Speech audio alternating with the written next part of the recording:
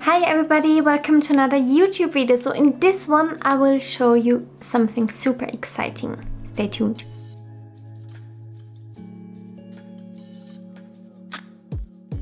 I took my massive telezoom lens with me on a hike to the highest mountain of Austria, the Großglockner.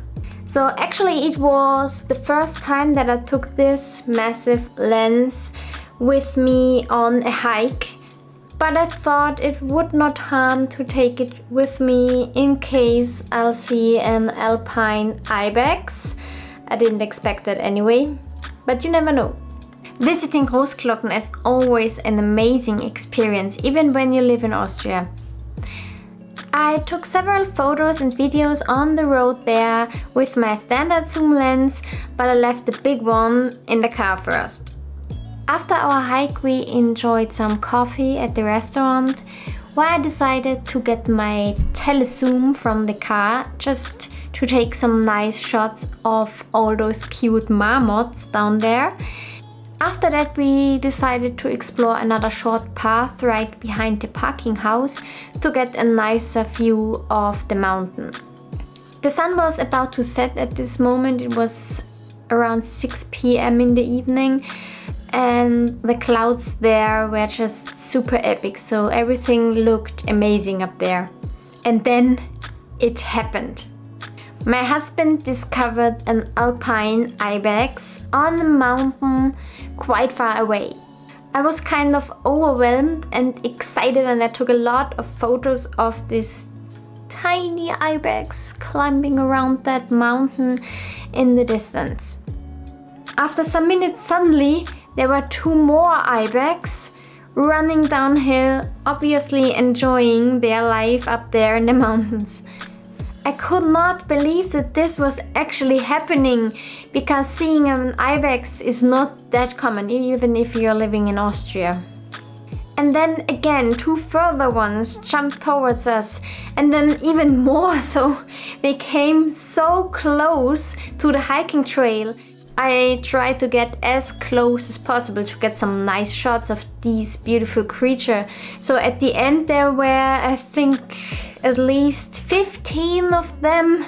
And then there was another photographer from Germany with a big lens too.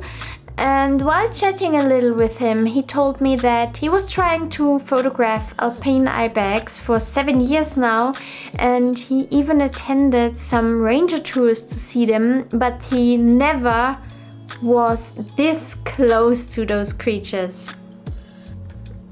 So this was an extremely lucky day for me and I think I spent at least half an hour there surrounded by all these beautiful animals. And now I'm painting one of my favorite shots that I took there. An ibex with an epic sky and the mountain in the background. As you see behind me, I already made the underpainting with burnt sienna and white acrylics. Now it's time to add some oil paint. Let's get started.